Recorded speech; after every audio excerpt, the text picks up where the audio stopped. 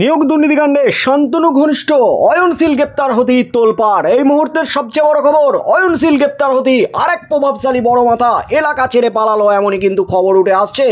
ওই মাথার টিকিও খুঁজে পাওয়া যাচ্ছে না, এমনই কিন্তু খবর উঠে আসছে এই মুহূর্তে ইডির নজরে শান্তনু ঘনিষ্ঠ মাথারা। রাজ্যে শিক্ষক নিয়োগের দুর্নীতিতে ধৃত হুগলির প্রমোটার অয়নশীলের আরও এক ঘনিষ্ঠকে ঘিরে রহস্য দানা বেঁধেছে। অয়নের গ্রেপ্তারের পর থেকেই গায়েব হয়ে গেছেন শ্রমিক চৌধুরী ওরফে বাপ্পা নামে এক ব্যক্তি। অয়নের ঘনিষ্ঠ বলে পরিচিত শ্রমিককে নিয়ে চর্চা শুরু হয়েছে।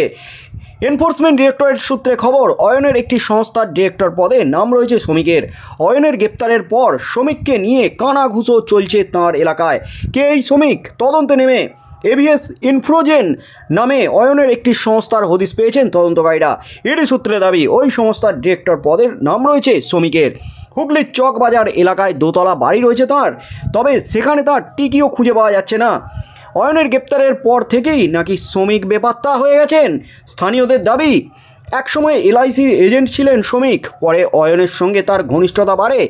চাকরির নামে টাকা তোলার যে অভিযোগ উঠেছে অয়নের বিরুদ্ধে, এই কারবারে তার সঙ্গী ছিলেন নাকি শ্রমিক? এমন কথাই বলছেন এলাকাবাসীদের একাংশ। স্থানীয়দের একাংশের দাবি, চুচুড়া ছাড়ার পর শ্রমিকের বাড়িতে ভিড় জমাতেন পাওনাদাররা। এই নিয়ে ঝামেলাও হতো। চকবাজার এলাকায় দোতলা বাড়ি তৈরি করেছেন শ্রমিক। কিন্তু সেখানে বেশি দিন থাকেননি। কয়েক বছর আগে ওই বাড়ির নিচের তলা ভাড়া দেন এক ব্যক্তিকে। শ্রমিক প্রসঙ্গে মুখ খুলেছেন প্রদীপ দাস নামে ওই ভাড়াটিয়া।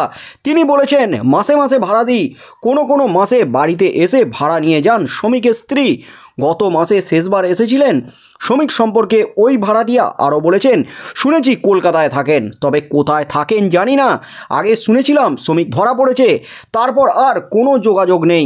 কলকাতায় হোটেল করেছে বলে শুনেছিলাম। শ্রমিকের সঙ্গে এগ্রিমেন্ট করেই বাড়ি ভাড়া নিয়েছিলাম বলে দাবি করেছেন ভাড়াটিয়া। নিয়োগ দুর্নীতিকাণ্ডে হুগলির প্রাক্তন তৃণমূল নেতা শান্তনু বন্দ্যোপাধ্যায়কে গ্রেপ্তার করেই অয়নের ব্যাপারে জানতে পারেন তদন্তকারীরা।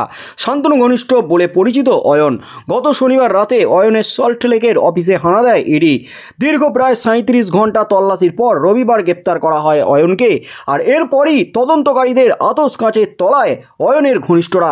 ইতিমধ্যেই কামারহাটি পুরসভার ইঞ্জিনিয়ার শ্বেতা চক্রবর্তীর নাম উঠে এসেছে। অয়নের প্রযোজনা সংস্থার কাবাডি কাবাডি ছবিতে অভিনয় করেছিলেন শ্বেতা। ছবিতে কাজ করার পারিশ্রমিকের বদলে অয়ন তাকে একটি গাড়ি দিয়েছিলেন বলে দাবি করেছেন শ্বেতা।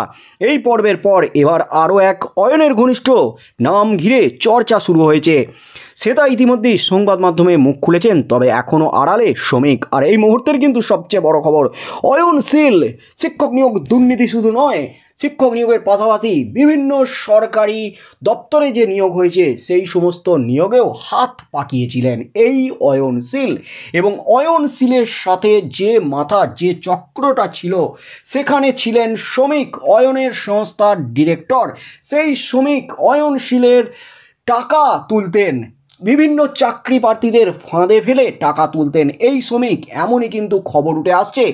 আর অয়নশীল গ্রেপ্তার হওয়ার পর থেকেই নিয়োগ দুর্নীতিকাণ্ডের আর এক মাথা শ্রমিক এলাকা থেকে গায়েব হয়ে গেছেন। বেপাত্তা শ্রমিক এলাকায় তার টিকিও খুঁজে পাওয়া যাচ্ছে না।